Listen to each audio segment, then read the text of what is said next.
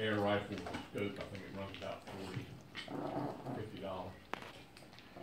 I told her don't go over sixty.